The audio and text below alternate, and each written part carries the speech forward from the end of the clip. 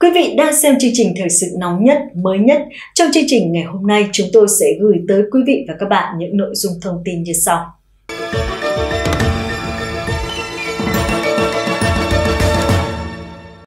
Bản tin lũ lụt Trung Quốc mới nhất ngày 30 tháng 9 năm 2023. Thưa quý vị, hôm thứ Sáu, Đài quan sát khí tượng thâm quyến đưa tin, Do ảnh hưởng tổng hợp từ hoàn lưu tàn dư của bão số 11, gió mùa và không khí lạnh yếu, từ tối thứ năm đến dạng sáng thứ sáu, Thâm Quyến hứng chịu một trận mưa xối xả vượt qua giới hạn kỷ lục lịch sử, phá 7 hạng mục kỷ lục lịch sử cực đoan.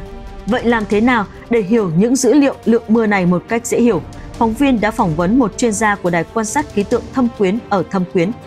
Ông lấy ví dụ về lượng mưa trượt dài 2 giờ là 195,8 mm ở Yatian, Jenkeng trong trận mưa lớn này làm ví dụ tương đương với việc đổ khoảng 400 chai 500ml nước trong khoảng 2 giờ trên bề mặt kính nằm ngang có diện tích 1 mét vuông.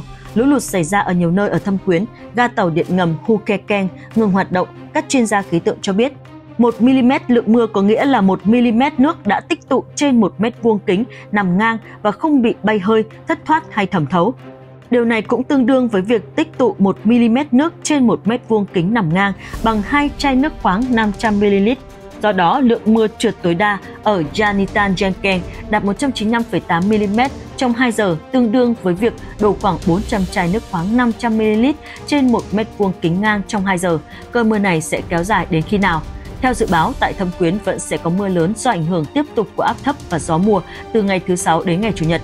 Cụ thể tại Thâm Quyến, sáng thứ Sáu xuất hiện mưa liên tục, có lúc mưa to đến chiều mưa giảm dần và có mưa rào rải rác. Từ đêm thứ Sáu đến sáng thứ Bảy, lượng mưa tăng và cường độ độ mưa cũng tăng. Lại tiếp tục có mưa to và mưa lớn cục bộ, ngày Chủ nhật tiếp tục có mưa lớn cục bộ. Trong vòng 13 giờ từ 17 giờ ngày thứ năm đến 6 giờ ngày thứ sáu, lượng mưa trung bình ở Thâm Quyến là 202,8 mm. Ba lượng mưa trung bình cao nhất ở mỗi huyện là Luhu là 380,8 mm, Futian là 263,8 mm và Long Hua là 251,7 mm. Các trận mưa bão lớn kỷ lục của Thâm Quyến từ ngày thứ năm đến ngày thứ sáu bao gồm lượng mưa trượt tối đa trong 2 giờ là 195,8 mm, tại Yantian, Yangkeng 3 giờ là 246,8 mm. Đài quan sát khí tượng Thâm Quyến cập nhật lúc 2 giờ chiều trong đợt mưa lớn từ ngày thứ năm đến ngày thứ sáu vừa qua, lượng mưa ở Siêu Tông ở Luhu đạt 614,6 mm trong 72 giờ, kỷ lục ban đầu là 611,1 mm, trở thành lần đầu tiên Thâm Quyến phá vỡ 7 giá trị cực đoan lịch sử về kỷ lục khí tượng từ năm 1952.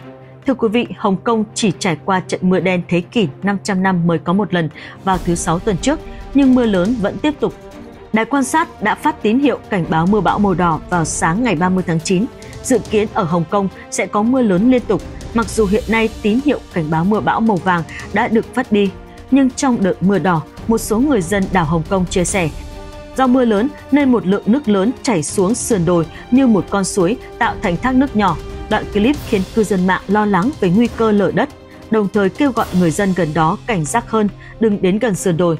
Những tảng đá sẽ rơi bất cứ lúc nào. Người hàng xóm đã đăng một số đoạn video ngắn và hình ảnh trên nhóm Facebook cho biết vụ nổ súng xảy ra vào khoảng 6 giờ 40 phút sáng ngày 30 tháng 9.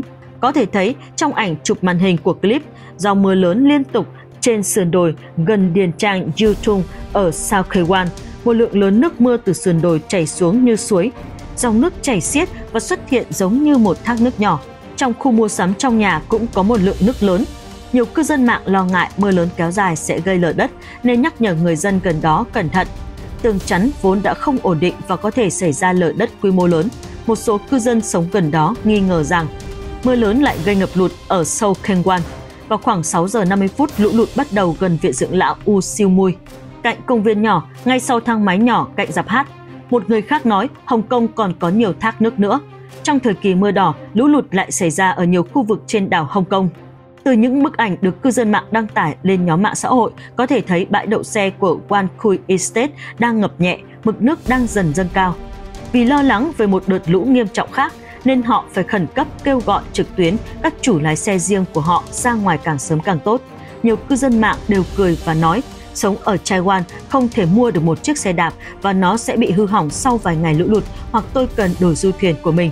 Nếu đường phố trong chợ cũng bị ngập bãi đậu xe tại Wansui Estate ở Taiwan đã bị ngập nặng vào ngày 29 tháng 9 trong trận mưa đen thế kỷ. mực nước gần như dâng cao và hầu hết ô tô tư nhân đều bị hư hỏng do lũ lụt. Ngày 30 tháng 9, nước tại bãi đậu xe đã rút nhưng vẫn còn tàn phá, bùn, cành cây và mảnh vụn phủ đầy mặt đất. Bãi đậu xe chia thành hai tầng. Hôm nay nước đã rút. Xét vết nước trên các phương tiện thì hầu hết đều ngập một nửa. Tuy nhiên, mặt đất phủ đầy bùn, xe lẫn cành cây mục nát và các mảnh vụn khác. Tại hiện trường còn sót lại một số ô tô và xe máy tư nhân, tất cả đều không thể nhận dạng được và không thấy công nhân dọn dẹp. Thông tấn xã đưa tin, mực nước lớn ở Thâm Quyến, tầng ngầm của ga xe lửa Thâm Quyến bị ngập, khiến khoảng trăm người mắc kẹt. Một người đàn ông đứng trên đầu thuyền trôi theo dòng nước. Tại sân thể thao của trường cao đẳng cảnh sát Hồng Trung Khang đã biến thành hồ nước với những người chèo thuyền kayak trên mặt đất. Trên sông Men, lũ vẫn đang cuồn cuộn ùa thẳng vào sông, sương mù trắng xóa xuất hiện, nhưng vẫn có những cụ già đang thản nhiên đứng trước lũ. Tại đường hầm MTR, nước đã ngập ngang ngực người lớn, các công nhân tuyến đầu hầu như chỉ nhô đầu lên trên mặt nước. Còn tại ngã ba đường Ritvul Bay và đường Iceland Road xảy ra hiện tượng sụt lún đường. Một chiếc ô tô tư nhân màu trắng rơi xuống hố và kẹp chặt đường ống. Công nhân từ Cheng Changguk trên đường Lu Cheong ở Ho Santi đã đến hiện trường để mở nắp mương nhằm giải tỏa lượng nước ngập. Mưa lớn tiếp tục kéo dài đến sáng thứ Sáu. Một đoạn đường Lung Chiung ở Hong Tang Sin, khu vực bị ảnh hưởng nặng nề nhất lại bị ngập tầng hầm tòa nhà phía bắc của trung tâm ông Taisin cũng bị ngập. Ga tàu điện ngầm ông Taisin đêm qua bị ngập nặng và một hành khách trên tàu đã chụp ảnh nước tràn vào sân ga. Một chiếc ô tô tư nhân màu trắng bị nước lũ cuốn trôi. Trên nóc xe có một đôi nam nữ ngồi. Người đàn ông giơ chiếc ô lớn màu đỏ để che mưa cho bạn tình. Đó chính là tình yêu. Một chủ ô tô quay phim nước lũ tràn vào từ đường hầm xuyên trung tâm hướng về Cửu Long. Cư dân mạng thốt lên rằng nó thực sự đã biến thành đường hầm dưới đáy biển bị ảnh hưởng bởi mưa, trạm MTR tạm thời đóng cửa dọc tuyến Khun Tông. Cơn mưa đen thế kỷ đã gây ra trận lở đất trên đường Yu Hinh. Sau Khanh Quan, hồ chứa đã xả lũ và một lượng lớn nước lũ tràn vào sông Sinh Mun ở Satin, quả là một cảnh tượng ngoạn mục. Kính thưa quý vị, bị ảnh hưởng bởi hoàn lưu còn sót lại của bão Haikui, mưa lớn và lũ lụt xảy ra ở nhiều nơi ở Quảng Đông. Trong đó có 71 con cá sấu trốn khỏi một trang trại chăn nuôi ở Mao Minh. Tính đến 20 giờ ngày 30 tháng 9, 62 con cá sấu đã bị bắt tại địa phương, trong đó có 60 con trưởng thành và hai con cá sấu con. Công tác tìm kiếm vẫn đang được tiếp tục.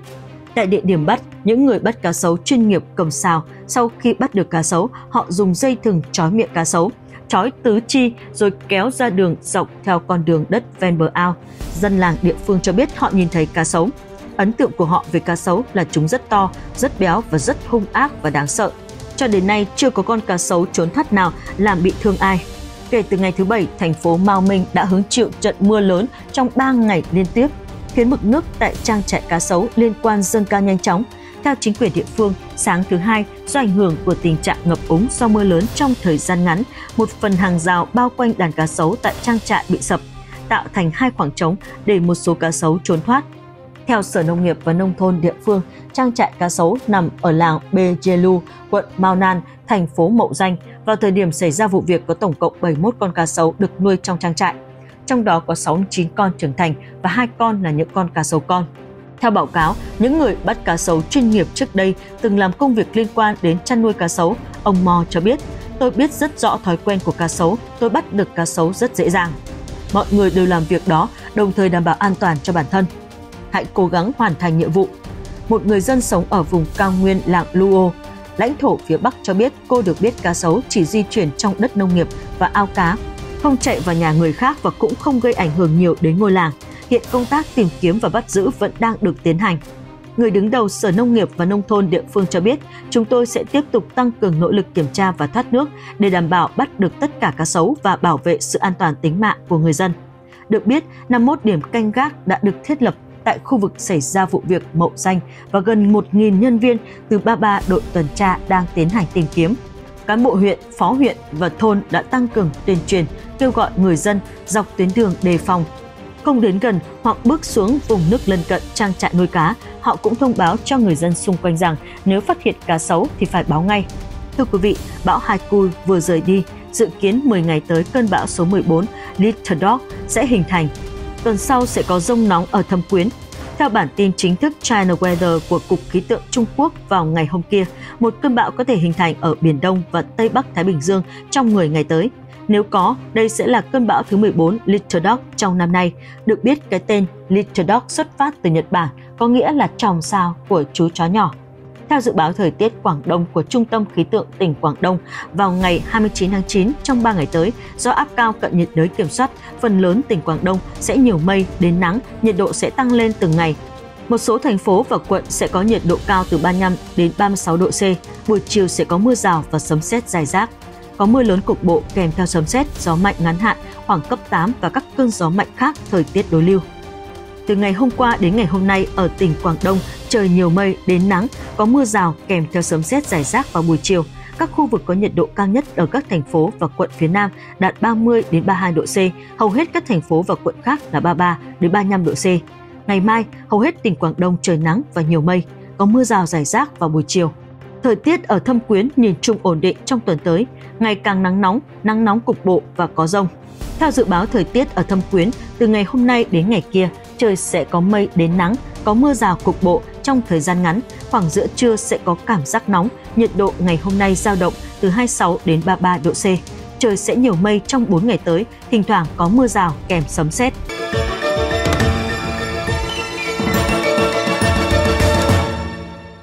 Những thông tin vừa rồi cũng đã khép lại bản tin của chúng tôi ngày hôm nay. Cảm ơn quý vị và các bạn đã quan tâm theo dõi. Xin chào và hẹn gặp lại.